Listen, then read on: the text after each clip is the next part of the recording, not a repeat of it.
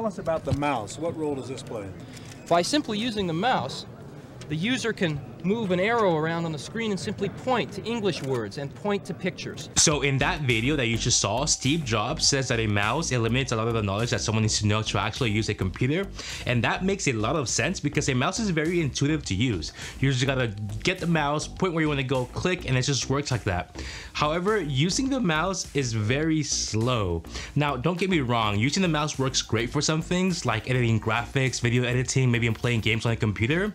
But for programming, it's just not it. So let me demonstrate this to you using a very common developer workflow that I use all the time. Let's say I'm coding on one side of the screen and I have documentation on the other side of the screen. And what I wanna do is go from my code to somewhere in the documentation, click on that, go back to my code and continue coding. So if I was doing this using the mouse, this is what it would look like. So first I actually have to find the mouse. So that means that I either have to feel around my desk for the mouse or even take my eyes off the screen to actually find the mouse. And then I have to look back up at the screen to orient myself to see where that cursor actually is. Use that cursor to point to the thing I want to go to, click on that, and then use that cursor to go back to my code, click on that, and then I have to go ahead and put my hands back on the keyboard. So I realized that talking about it like this makes it seem dramatically slower than it actually is. So this is what it looks like in real time.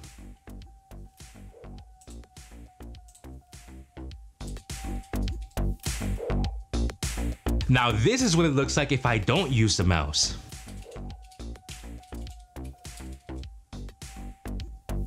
So I know this example isn't super scientific, but it's not meant to be.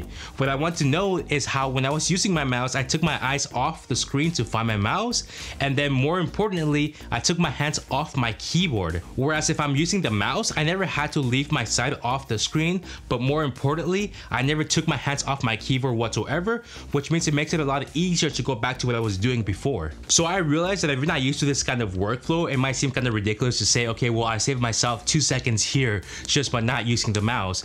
But the reality is that when you're on a computer for 8 plus hours a day working on the computer, these microsaves from not reaching over to your mouse become minutes or even hours of productive work that you can actually do. Okay, so I want to show you how my development environment is actually set up so that I can achieve this kind of workflow. So to start off, let's look at my text editor, the application that I probably spend the majority of my time in. For this, I use an application called Vim.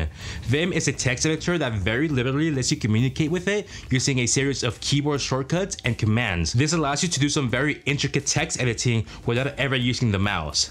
So in this program, I'm very simply just adding two integers in a function and returning the results. And let's say I want to go ahead and change the numbers in the input for the function. So in a mouse driven environment, the way I would do that is get my mouse, highlight what I want to go ahead and change, delete it, and then just put in my new numbers. So using Vim on the other hand, what I can do is use a series of keyboard shortcuts to jump over to that specific line, then use another series of keyboard shortcuts to change the inside very quickly. I realize that this example is very simple, but the key thing to notice here is how I never took my hands off the keyboard keyboard the entire time. Now, I will say this, Vim is not a text editor that I can just pick up overnight. It might take you a few weeks and even a few months to actually learn how to use it. I've been using it for a few years now and I still don't know everything you can do with it. And I'm always learning new keyboard shortcuts and new commands to use. But it, wow, it's really learn worth using it because once you learn how to use it, your workflow just becomes super productive. The next application that I use very frequently is a web browser to browse documentation.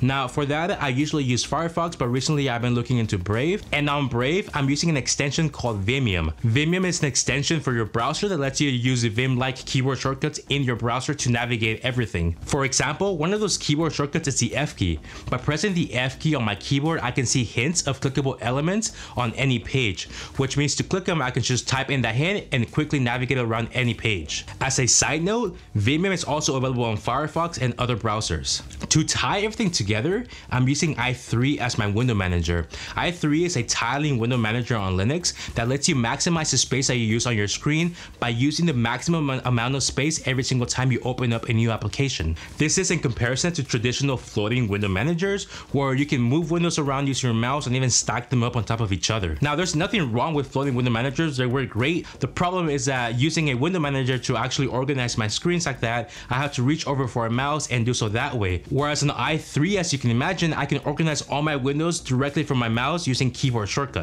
As an added benefit, tiling window managers follow this trend of being very customizable, which means that you can add key bindings for just about anything that you want and make the experience really your own. It should be mentioned that i3 is Linux specific, but if you're using another operating system, there are alternatives. For example, on macOS you have Yabai, which is a very popular option, and on Windows you have Komorebi, which is also a very popular option.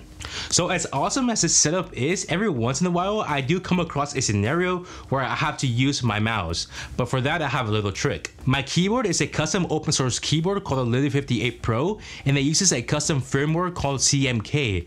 ZMK allows me to have extra functionality that an off-the-shelf keyboard wouldn't have. One of those functionalities is actually using my keyboard as a mouse. I'm able to do this by pressing the escape key on my keyboard and then using Vim-like navigation keys to do anything from moving the mouse, even scrolling up and down, and then using my thumb keys for left and right clicks. If you don't have a custom firmware, something I've been looking into recently is an application called warpd. warpd is an open source application that lets you move around your screen using your keyboard like you would with a mouse. It does so by giving you hints a lot like Vimium does, and also using a grid system that lets you move the mouse around by making the grid smaller and smaller every single time until you get to the point that you want to click to.